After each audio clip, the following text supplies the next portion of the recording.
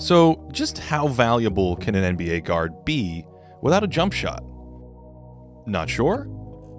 Reigning Rookie of the Year Ben Simmons forces us to ask this question because he's not merely a poor outside shooter. No, Simmons basically has no outside shot at all. He's a 57% foul shooter, he's never made a three pointer in his career, and he's hit a woeful 24% of his shots outside of 15 feet, which would rank second to last in the league this year. Heck, no perimeter player takes fewer outside shots than Simmons, who hoists them nearly four times less frequently than the next closest non big man.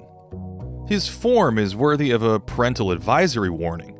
Notice how he flexes his thumb inward, and then, you might want to shield your eyes here, twists into the release in what looks like Edward Scissorhands playing basketball. And since he's had a similar shot since high school, this broken form is grooved into his neurological patterns, which will make improvements more difficult. Yet, in spite of this, he's already one of the better players in the league. He's most dangerous in transition, where these maniacal rim runs will outrace shot blockers and terrorize unsuspecting defenses. If there's no big man back in the lane, he's flooring it to the hoop, big enough to finish over smalls. He pushes hard into these little grooves, but he's also physical. Look, there's the big man. Note the great change of pace here, something Simmons excels at. On this play, he uses a large loping step to throw the defense off balance, as long as there's no shot blocker back, Simmons is looking to drive all the way to the cup. And he plays the same layup or bust style in the half court. Note the open lane again. Where most wings use space to shoot, Simmons uses it as a runway to build up speed. He's so big he can often just leap his way into a shot or pass. Philly will try to get him running downhill with handoffs, and from there he can find crafty ways to finish in the lane. He's often two giant strides away from leaping into a shot or a creative pass, finishing with little floaters, hooks, and layups. And this relentless aggression punishes teams who leave him alone because, unlike, say, what teams have done in the past to Rajon Rondo, Simmons can finish among the trees. He eschews spotting up altogether and replaces these with cuts. Most players toe up here for three in this open area, but Simmons beelines to the space in the lane, and his speed and size stress defenses in these spots. He also developed a viable post game and has started overwhelming smaller players with physicality, or just backing down weaker defenders who helplessly foul. Notice how he immediately works to dislodge Jeff Green for deep position here. He loves this righty hook and busts it out on the block with regularity. Again, note the deep position. This post game has become Simmons' primary weapon in the half court. He's in the 59th percentile in post scoring and 63rd percentile in post up frequency. Solid numbers.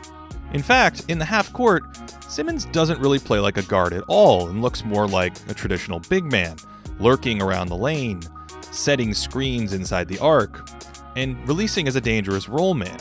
He'll even camp out in the short corner instead of waiting behind the line like a typical perimeter guy. When defenses are set, he's more like an athletic big who doesn't space the floor. But back in transition, he's one of the most dangerous passing guards in the league.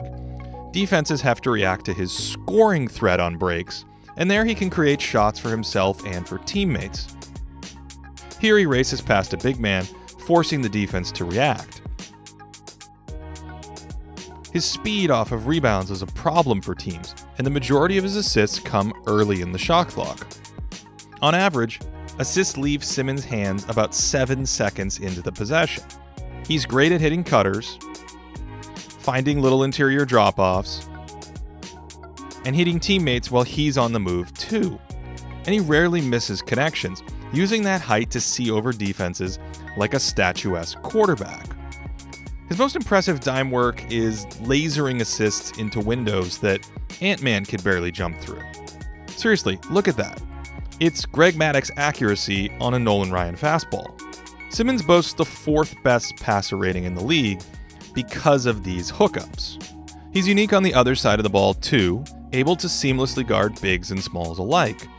This makes his pick and roll defense extremely valuable, as he's essentially impossible to matchup hunt he moves like a guard, but he's built like a big man. He's quick enough to stay with wings, but strong enough to hang with wrecking balls on the interior. That's 275 pounds of Jusuf Nurkic he just banged with. And perhaps what's most impressive is how comfortable he is against so many different types of attackers. The banging and staccato rhythm of the post can throw most players off, but Simmons looks right at home, only he's just as comfortable flying around 40 feet from the hoop. Here he is backpedaling against a quick guard, a highly vulnerable position. Still, he's as natural and effective as he was in the post, and his length at the end disrupts the shot.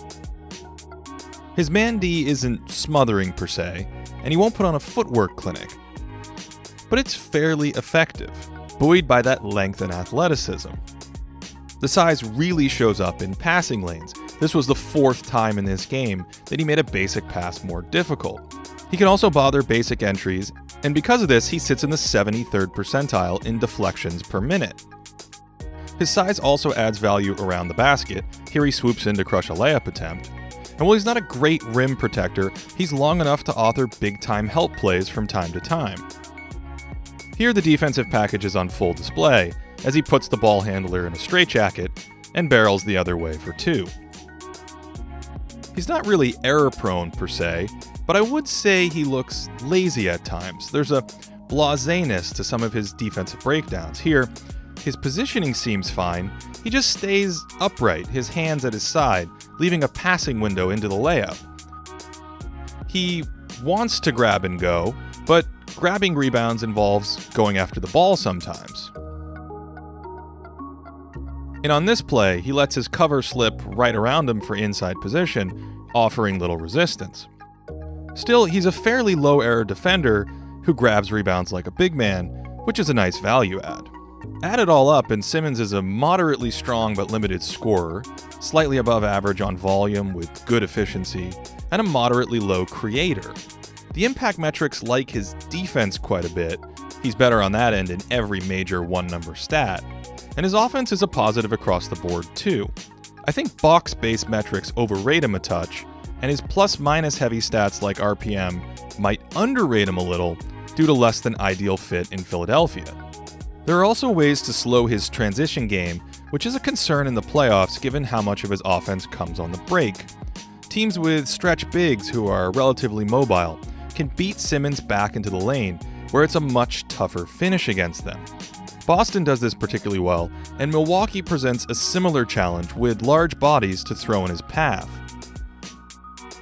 They say the game is positionless now, and there's no better candidate than Simmons for that movement, but he also speaks to how functional the positions really are. He's not positionless, he just breaks the classical system. In transition, he's a lead guard, attacking and creating, but in the half court, he turns into a diving big man who tacks on value with putbacks he is in the 79th percentile in offensive rebounding. And on defense, he guards anyone while rebounding like an interior player. Spacing does suffer with him on the floor, defenders never need to stick to him on the perimeter, and he tends to operate in the lane, much like his teammate Joel Embiid. Their returns together are solid, Philly scoring 114 points per 100 when they share the court, with a net rating of plus 7.2. Good, but not great.